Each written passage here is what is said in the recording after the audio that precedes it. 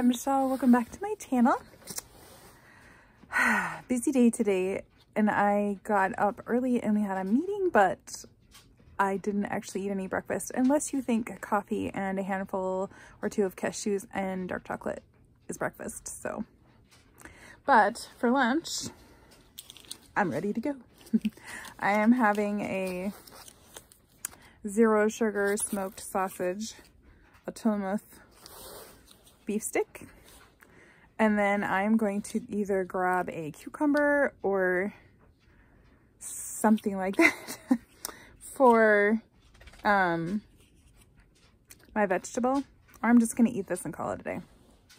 Since this is a protein, I can grab something else and not worry about it. But I wish that I had thought to do that for breakfast, but I totally forgot about it. And now I don't have time. So there we go. All right, so we managed to get our frame up for our duck pen, duck goose pen, chicken pen, that pen. And um, I'll insert a picture when I'm done. But um, we managed to forget one piece of PVC, so we, have to, we had to go back to the store and get it, and then we will take it out the next time we go out. I have, we've built a chicken pen which is a tractor like this before. It's been many years. So I just looked up online PVC chicken pen and it came up with something similar and my husband springboarded off that idea. We still have to add a door. I'm not sure what we're doing for a house yet. Apparently ducks don't really care if you have a house, so we'll see.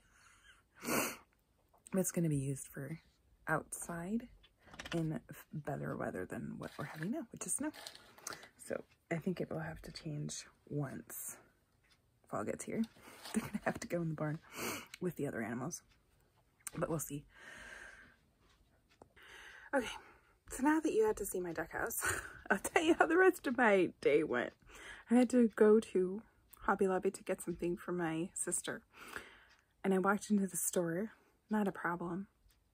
I couldn't find what I was looking for. And it, I tried to find a clerk to help me and they only had I'm assuming it's like two people working in the store. I don't know what the deal was. I couldn't find anybody to help me, so I wandered around the store for 20 minutes until my daughter was finally able to tell me where to find it. Should have just asked her first. Um, and then when I went to leave, I realized I had dropped my glove. So now I'm gloveless. And I called the store later to ask if anybody found it. And of course nobody had. And she's like, we'll call back Monday. And like, and I have to go through the weekend without gloves. Or just one glove, I suppose. Like, I can't believe I did that. I know pretty much where I dropped it to because I had grabbed something. I don't, I'm pretty sure I had them in my hand at the back of the store when I went to the front of the store and picked up what my daughter told me to get. I'm pretty sure that's when I dropped it, so hopefully they find it when they clean the store when they cleaned the store last night and I could get it Monday but ugh. I am not sure I'm going back to that Hobby Lobby. It's not necessarily a bad store it's just if you need help you literally can't get it because there's not enough people. The line was pretty long too which I get I mean that happens in some stores. It was just extremely frustrating that you couldn't get any help at all. I had to stand in line to check out if I wanted to talk to someone. It's like, that's just odd for a store to not have enough people working there so that you could get help if you need it. I, I don't know how their store works, so I just thought that was very odd. And the thing was, is there was another clerk in the back doing framing. And I went back there twice. I saw the guy one time and he asked me if I had a question and I said yes. And he asked if it was about framing and I said no. And then he's just ignored me. And I'm thinking, okay, I wasn't asking him to check me out or anything. I just wanted to ask a question and he wouldn't acknowledge me. And the thing, the people that were standing in front of me in line were, that's kind of strange. he should probably just go somewhere else. He's not, because he, wa he went to go get something for them walked away and he never came back. so when I came back again, because I came back again, because it's like I couldn't find anybody in the store. I walked all around. I came back and they're like, don't bother. He's never came back. it's like, that was not a very happy experience. If I know where something is at Hobby Lobby, it's not necessarily an issue. Seeing it in line is fine. But if I want to find something, yeah, I probably have better luck if I asked a customer. Probably should have done that. Actually, I asked the people that I was standing in line with if they knew where it was. They had no idea. They looked where, or they would look where I had already looked. that was the oddest thing. I think I'll go to the, I have two stores that are local to me. I think I'll go to the other one. It might be a little easier to find what I need. This one, I've actually only been in twice. This is the second time.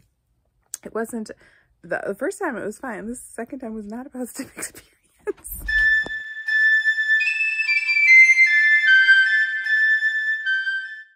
Alright, so I actually don't have a picture for supper because I have a confession to make. I didn't eat supper. Sorry. I actually just drank my um, GGMS that I made this afternoon. And what was the other thing I had in my Oh, I had some cashews. I wasn't feeling all that great. I was extremely frustrated with what happened at the store and what just, I was so tired. I don't think I was just as frustrated as I was just so tired and then the frustration didn't help. So I actually didn't eat, which I know is bad because I don't even think I ate breakfast that day either. Yes, ugh, I don't think I ate breakfast today either, but it was just one of those days where I just went to bed without. And that's all right. That happens sometimes, but today, bleh. So, I'm hoping tomorrow's better. Or it should be anyway, right? Let's see how it goes.